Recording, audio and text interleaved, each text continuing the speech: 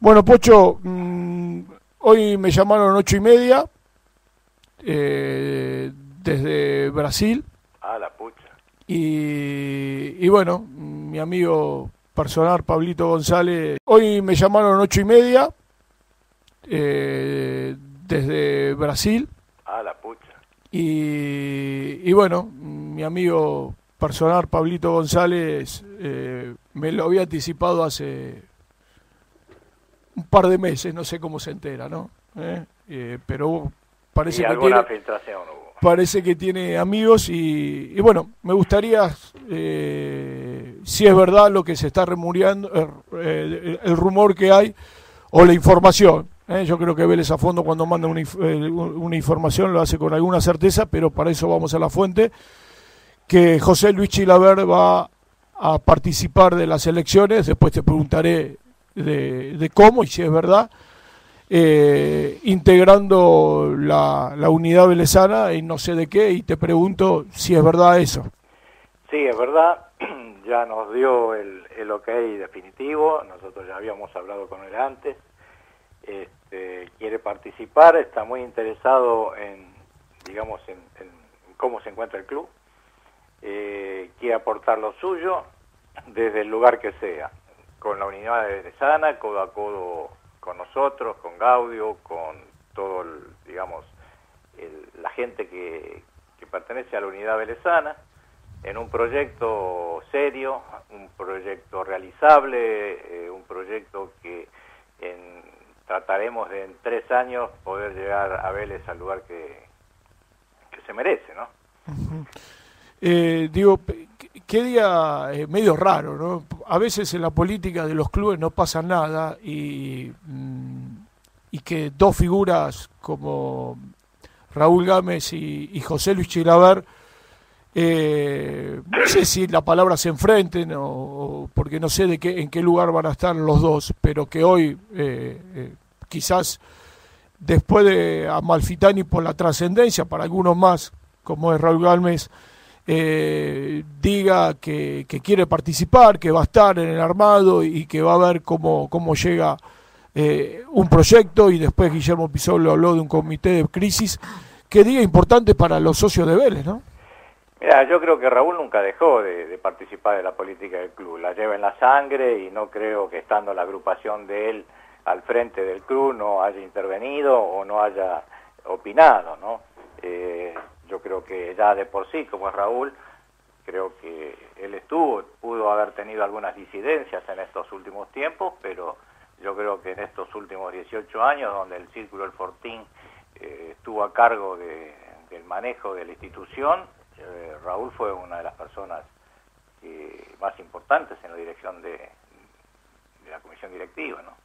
Digo, volviendo a la noticia, ¿eh? que, que Chilaver va, va a participar, se comprometió. Chilaver eh, va a participar, eh, va a estar en el puesto que estatutariamente le permita o que contractualmente nosotros podamos llegar a una, este, una- a un acuerdo.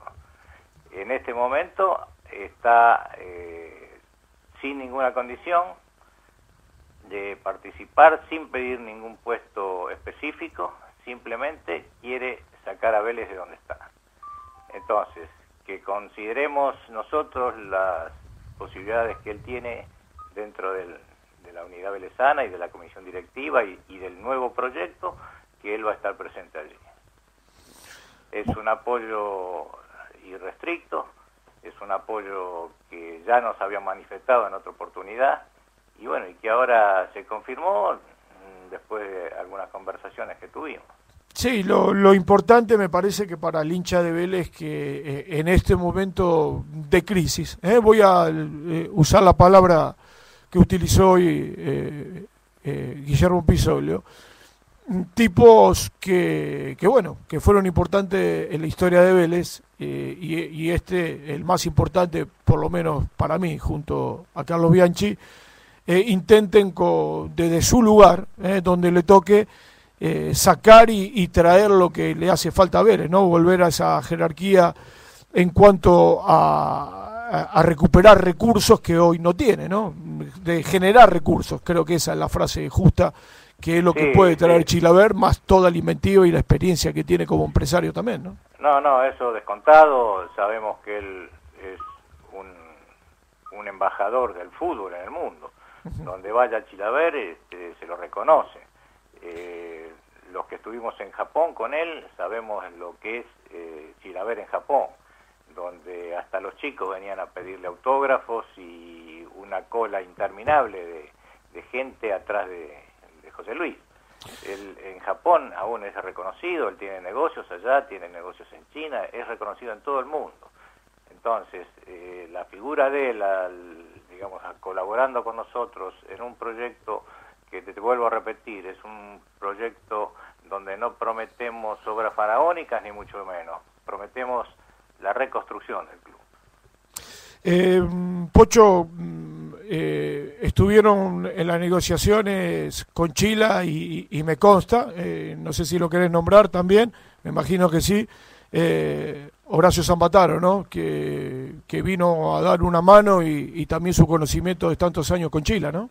Sí, Horacio desde que se acercó hace unos meses a la unidad nos ha dado un empuje realmente muy importante. Eh, es decir, le hizo honor al, papá y al tío, que son fundadores de la unidad. Y bueno, y un empuje bárbaro y acercó gente importante y estamos trabajando con él en, en el proyecto este que vamos a presentar el día 16 y que creo que es lo más viable para Vélez que en este momento de, como decís vos, de crisis, se necesita un esfuerzo superior ¿no? al, al que podría llegar a tener si el club se encuentra en condiciones, digamos, normales, ¿no? donde vos podés llegar a tener un superávit o algo así. Pero en este momento el, el esfuerzo va a ser grande. Eh, Pocho, eh, te quiero eh, hacer una pregunta al resentido Nicolás Colina, que nunca lo invitaron ayer para comer un chorizo. Bueno, ayer, eh, vos sabés que la idea de la choricera surgió... Ni yo me enteré. ¿quién, ¿quién, la puede haber propuesto? Tarraciano.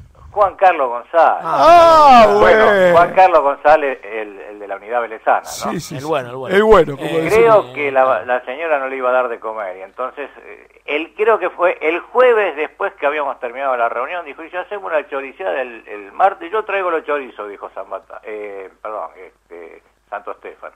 Y ahí se armó, pero y después yo pregunté a un montón de gente que vos sabés que esta noche vamos a comer chorizo. Dice, no, no, bueno, venite, acerca, acercate porque... Este, bueno. pero ya sabés, para estoy el martes, a dieta, así que para el martes me pueden invitar que 4 o 5 no puedo comer. Nico, para el martes te guardamos uno. Bueno, no hay problema. Pocho, eh, escúchame, digo, Chilaver, ¿puede ser presidente o no? Digo, por estos temas que había... De lo que habló, de, de, de un problema estatutario, ¿no? Exactamente, con el estatuto. Digo, claro, para aclarar, ¿no? Eh, Porque el Así como Gámez hoy tampoco va a ser, o no, no definió que va a ser el candidato a presidente, digo, Chilaver tampoco, o sí puede ser presidente. ¿Vos querés saber quién va a ser el candidato a presidente por la unidad velezana? No, no, no, yo lo que quiero saber es aclarar si, si Chilaver está en condiciones de ser candidato a presidente. Bueno, estatutariamente no. Estatutariamente no. No, salvo que eh, este gobierno le reconozca y le devuelva el carné antes de octubre. Y que, haya, y que haya una decisión judicial, una cosa así, mm. un manejo así. Hoy puede ser eh, miembro de comisión directiva. Exactamente. Primer vocal. Sí. Bueno, está bueno aclararlo para que la gente. Sí, sí, no, pero eso lo aclaramos, creo que. Pero está bueno. Eh, hoy está escuchando mucha gente. Creo que puede ser primer vocal, puede ser representante, bueno, puede ser presidente de una subcomisión de de, fútbol, puede ser un montón de cosas. Claro.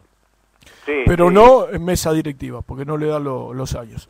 Bueno, ¿cómo, ¿cómo se están preparando? Te aprovecho eh, después de, esta noticia para, para el 16, el miércoles 16, invitar a la gente en Villarrubo Norte. Bueno, la idea del 16 es hacer una presentación de sintética de nuestro proyecto y desde el 16 hasta noviembre yo creo que vamos a hacer reuniones eh, informativa de cómo va avanzando ese proyecto y eh, más explicitarlo un poco más y empezar a bajar a cada una de las actividades, porque en este momento, digamos, sería muy pesado explicar a la gente qué vamos a decidir sobre cada una de las actividades.